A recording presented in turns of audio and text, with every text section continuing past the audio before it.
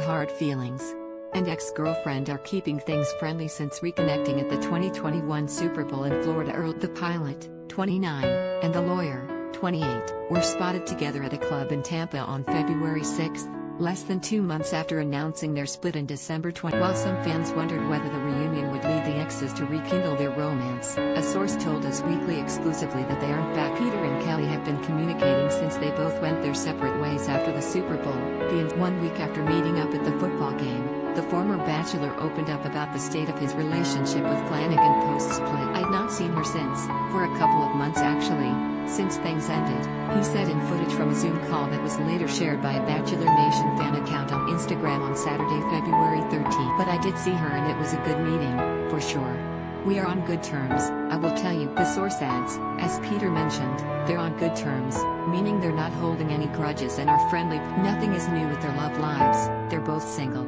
Weeks before they reunited in Florida, however, the exes unfollowed each other on in though they sparked speculation that they might be getting back together, the source says only time will tell, adding, they are taking this time to focus on them. The duo crossed paths in February 2020 before filming began for Weber's season of the ABC dating series. Flanagan later competed for the California native's heart on season 24 of The Bachelor but was sent home before the home. Weber reconnected with Flanagan in Chicago following his splits from ex-fiancé shortly after announcing their plans to move to New York City together in December.